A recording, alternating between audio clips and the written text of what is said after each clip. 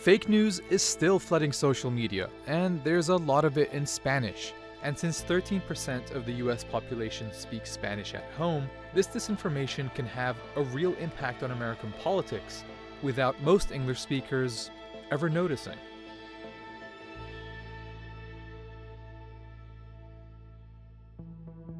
As a group, Latinos are more likely to spend more time on social media platforms.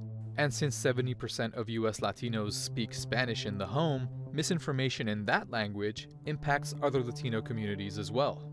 For example, misinformation shared on Facebook has significantly fueled vaccine hesitancy amongst Latinos.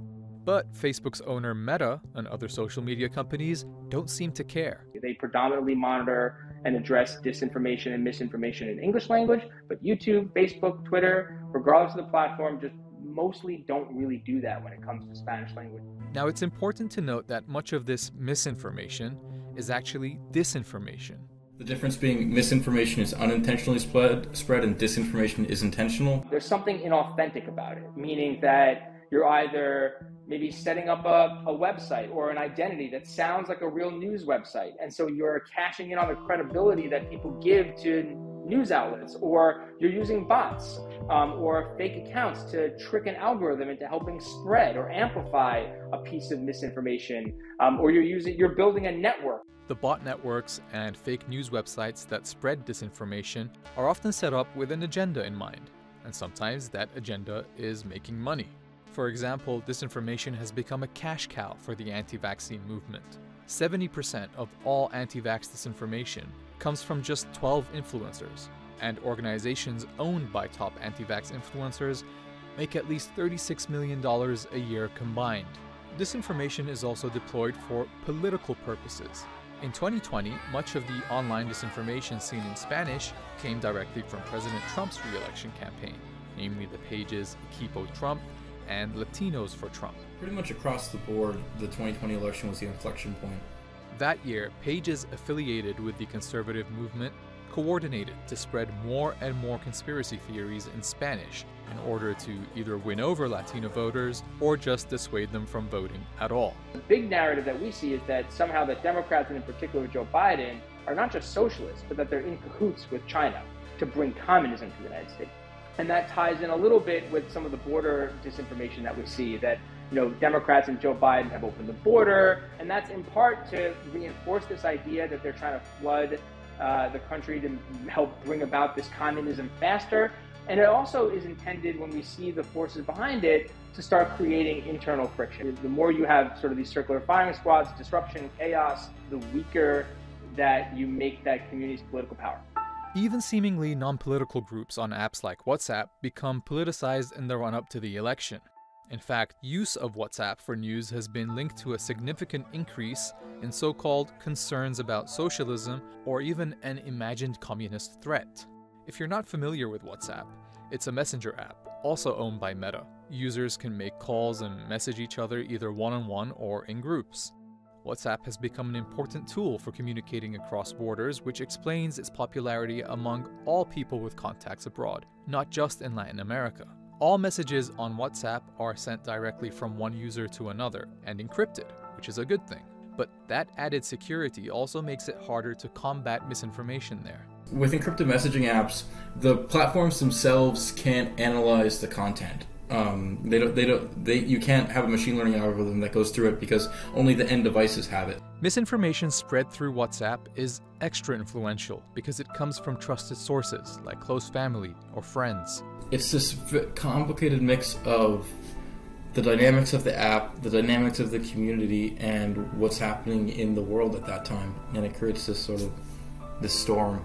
A few years ago, WhatsApp actually put in place some measures to reduce the spread of fake news, like limiting the ability to mass forward messages. That came after several people were killed by angry mobs in India who believed rumors about child kidnappings that had been spread on WhatsApp. This information that originates on other platforms like YouTube and Instagram is shared via WhatsApp, often reaching a much broader audience. Once that disinformation becomes widespread, it sometimes reaches traditional media platforms, like radio.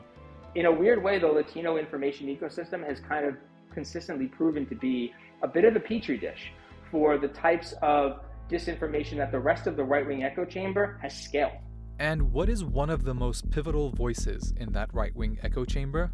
Conservative talk radio. Most of talk radio was about saying kind of weird things to get engagement. This phenomenon has been especially pronounced in South Florida, where a strong local network of conservative Spanish language media already exists. Radio Mambi, a talk radio station in Miami, has been broadcasting conservative opinions in Spanish to its audience since the 1980s. But recently, these opinions have become more detached from the facts. One report found that Mambi and other similar stations made several false claims in the wake of the January 6th Capitol riot, including baseless accusations of voter fraud in the 2020 presidential election.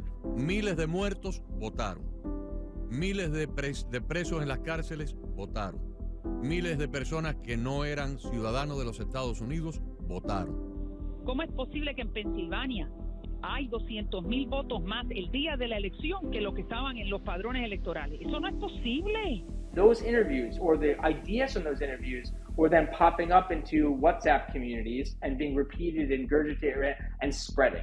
Spanish language radio stations have particularly high levels of trust among audiences in immigrant communities. So when listeners heard the same disinformation on the radio that they were seeing online, those false narratives were being validated by trusted sources, amplifying their impact. And just like online content, the radio can also be manipulated. For example, some industry veterans began speculating that a larger political effort was coordinating radio show call ins. After a surge of calls to radio shows, all echoed similar talking points about Kamala Harris. But it's not just radio.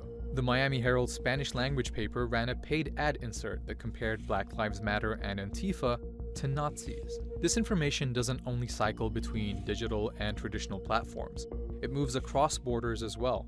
In fact, much of this propaganda material is originating in Latin America itself. One such source is Informativo G24, an Infowar style YouTube channel hosted by a longtime news anchor in Colombia. The channel disseminates many familiar conspiracy theories, including the claim that George Soros is the world's biggest puppet master.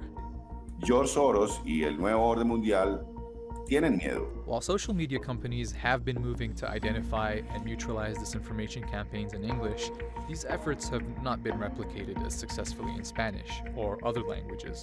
Some platforms have even left up false posts in Spanish after English posts containing the same misinformation were taken down.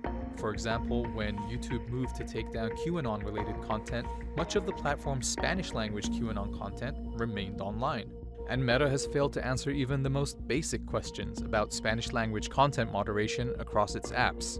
The company reportedly couldn't even name who was in charge of reviewing Spanish content moderation. Mark Zuckerberg himself even vetoed a proposal to provide voting resources in Spanish on WhatsApp, arguing that it would not be, quote, politically neutral. According to Facebook whistleblower Frances Haugen, Meta's problems extend to every language besides English. Facebook has never published which languages are supported and which integrity systems are supported in those languages.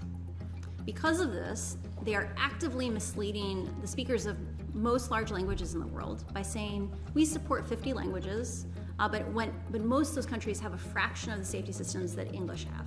Ultimately, these platforms will always value their bottom line more than the truth or free speech, so it's going to take more than content moderation to create a better information environment online. With that in mind, Media Matters is partnering with Voto Latino to create the Latino Anti Disinformation Lab. We're not just talking about fact checking as a part of this Latino Anti Disinformation Lab. What we're really thinking about is inoculating or preventing the rapid spread of misinformation and disinformation. The lab plans to identify pieces of disinformation and then strategize about the most persuasive ways to respond with their own campaigns.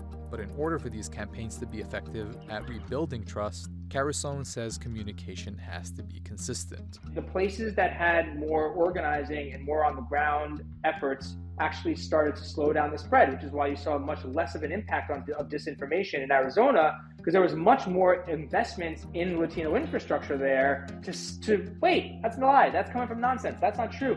We can talk about this. We're not too scared to engage with the things you're reading in your community.